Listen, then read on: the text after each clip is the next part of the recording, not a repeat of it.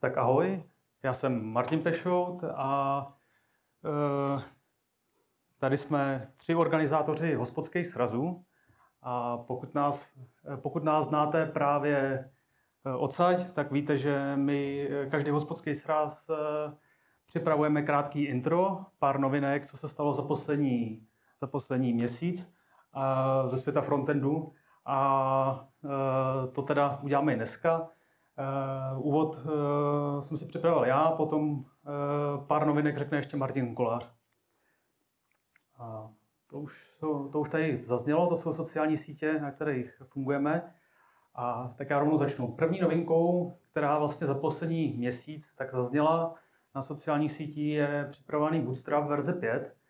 A zde bych chtěl říct uh, asi takový ty hlavní, hlavní věci, které jako přináší.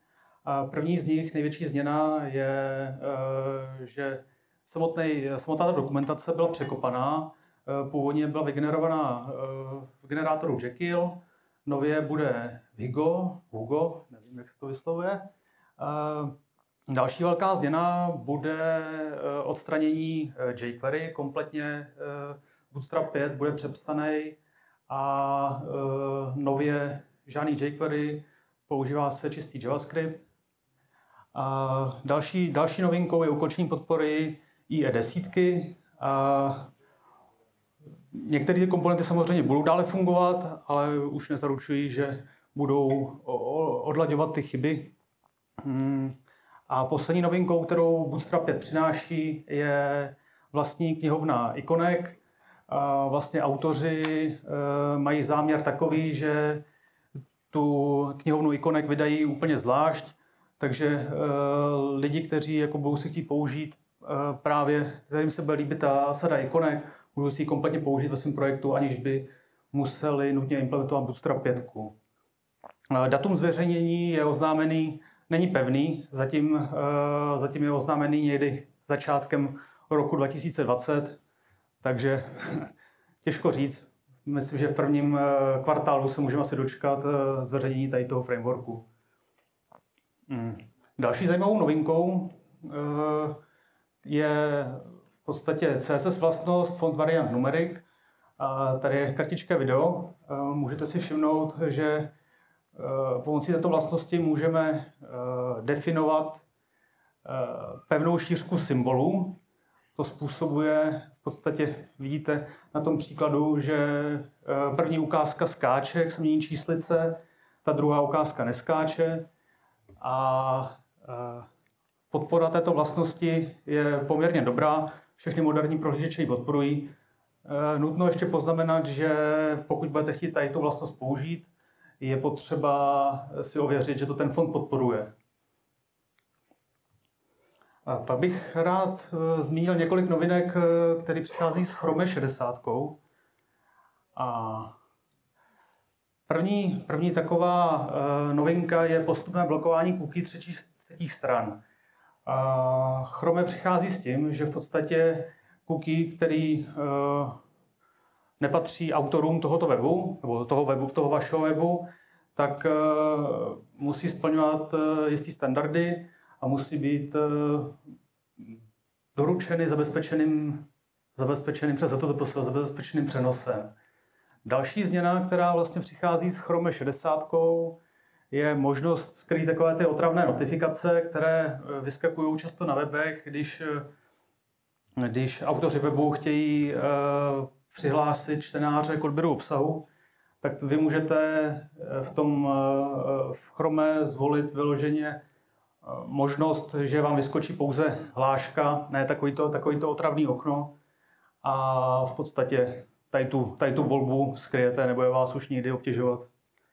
Poslední změna, eh, poměrně velká změna, která přichází postupně do Chrome v 60. Eh, dochází k vynucení načítání HTTPS obsahu eh, na zabezpečených webech.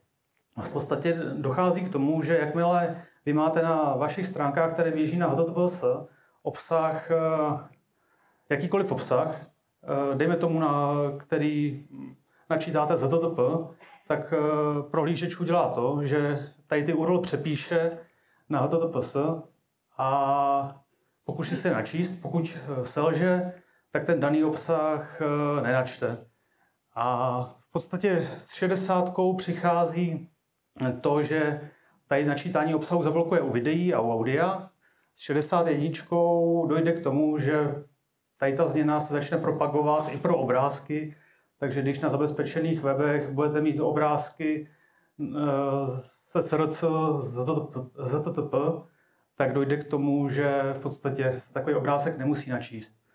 A tato změna ještě ne, nepůjde hned, postupně se bude propagovat eh, více a více uživatelům, takže pokud náhodou máte obavy, že takovýhle eh, problém může u vás na webu, máte ještě měsíc na to si uh, případně ten problém s těmi obrázkama odladit.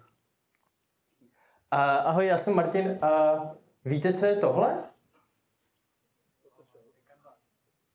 Jo, je to Photoshop a dneska je strašně skvělý den, protože dneska jako uh, je to přesně 30 let od toho, co vzniknul první verze Photoshopu. Takhle vypadala.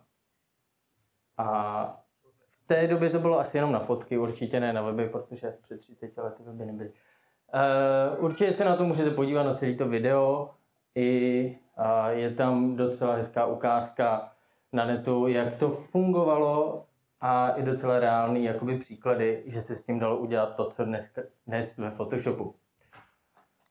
E, další věc, kterou jste asi určitě zaznamenali, před měsícem vyšel Chrome, e, pardon, Edge na Chromium, takže pokud e, chcete na svého MacBooka nainstalovat něco od Microsoftu, respektive prohlížeš od Microsoftu, tak už můžete. Je to asi měsíc venku a to je tak asi všechno o tomhle. A určitě znáte Flash? Ne, tenhle Flash nemyslím. Tenhle Flash. Chrome v nejnovější verzi, která ještě není venku, oficiálně utne podporu Flashe a nebude ho zobrazovat. Co se týče ostatních velkých hráčů, jako je právě Edge, Chrome a uh, Firefox, tak ti se zavázali, že Flash přestanou podporovat do konce letošního roku, takže už si nezahrajeme žádný flashovky, jo? což je prostě strašně smutný. A jako poslední věc, tady mám takový um, pokus. Tohle je Jonathan Morrison, který dostal Mac Pro a ten se dá updateovat až na 1,5 terabajtu ramky. A udělal takový pokus, kolik Chrome oken zvládne 1,5 terabajtu ramek. Teď můžete, jako kdo, kdo jste to nesledovali, tak teď můžete začít jako přemýšlet, já vám mezi tím tady pustím z Twitteru docela jako hezký takový memečka.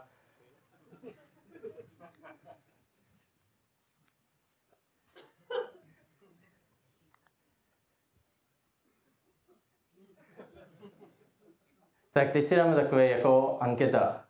Uh, 1,5 terabajtu ramek. Kolik to může být tak chromových oken? Bylo to úplně jako uh, random asi 30 webů různých, jako Tesla, Nike, Google, Apple a podobně. Nějaký typy?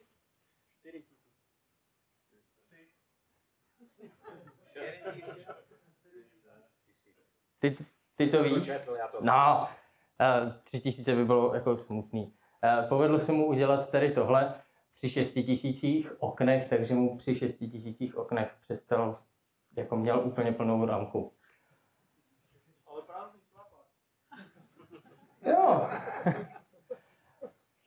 Vychází to asi 250 MB na jednu stránku a ještě bylo zajímavé, koho by to zajímalo víc, tak se podívejte na jeho Twitter nebo na jeho YouTube kanál. A stalo se mu to, že nechal to běžet 24 hodin a v podstatě měl uh, za 24 hodin jako se zasekalo pár těch procesů a začali mu žrát úplně jako všechny jádra, takže ten počítač byl stejně po 24 hodinách nepoužitelný. No a jak tedy zaznělo na začátku, my organizujeme frontendový piva v Brně a po minulé zkušenosti, kdy vás tam přišlo fakt jako hodně, tak jsme změnili prostory. Bude to 18. března v 18 hodin a nově to bude na ulici Rooseveltova, taky v centru Brna v restauraci Tálie.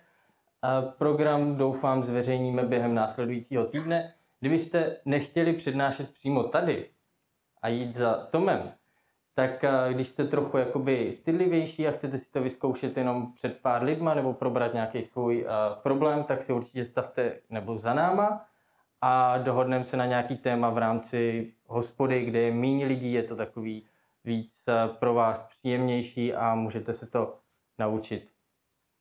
Tak jo, díky moc a jdem dál.